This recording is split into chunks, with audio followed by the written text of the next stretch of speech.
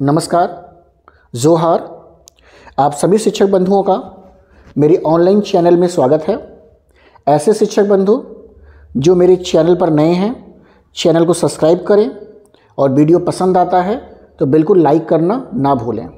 आप सभी को पता है कि आज जेएसएससी ने अपनी साइट पर चार विषयों के लिए डॉक्यूमेंट वेरिफिकेशन का कार्यक्रम जारी किया है। और ये चार सब्जेक्ट कॉमर्स हैं कुडुक है उड़िया है और अरबी है। इसमें से कॉमर्स का डॉक्यूमेंट वेरिफिकेशन 22 नवंबर को हुआ था और 22 नवंबर को होने के बाद जो है, अभी भी 41 41 इकतालीस बच्चों को दोबारा जो है डॉक्यूमेंट वेरिफिकेशन के लिए बुलाया जा रहा है। और ऐसे बच्चे जो इस डॉक्यूमेंट वेरिफिकेशन में अनुपस्थित होते हैं, उनको फिर से तीन तारीख और छः तारीख मार्च में दिया गया है।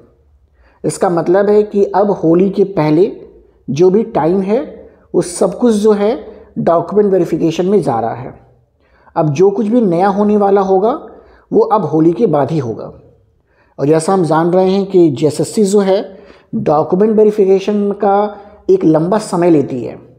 ये सालों साल आप देखे होंगे 2021 में केवल डॉक्यूमेंट वेरिफिकेशन भी हुआ है। इससे पहले भी डॉक्यूमेंट वेरिफिकेशन का इनका टाइमिंग बहुत ही लंबा जाता है। तो डॉक्यूमेंट वेरिफिकेशन ये स्टार्ट किए हैं तो मुझे लग रहा है ये कार्यक्रम भी 10 से 15 दिन चलेगा इनका। और और भी सब्जेक्ट हैं इनके पास, जिसमें मुझे लग रहा है कि इनको अभी भी डॉक्यूमेंट वेरिफिकेशन कराना होगा।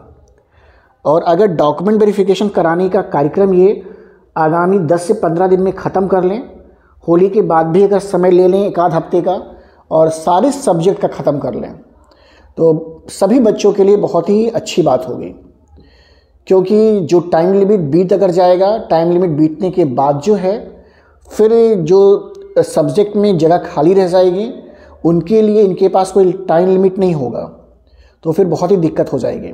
आप लोगों के पक्ष में इस समय जजमेंट है ऑर्डर कॉपी है, और साथ ही साथ टाइम लिमिट है। लेकिन फिर भी देखिए डिले होने के पूरे चांसेस हैं। अब दिन जितना नज़दीक आ चुका है, अब किसी भी प्रकार से ऐसा प्रतीत नहीं होता है कि 15 मार्च तक ये कर पाएँगे। तो ऑर्डर कॉपी होने के बावजूद जो है ऐसा हो रहा है।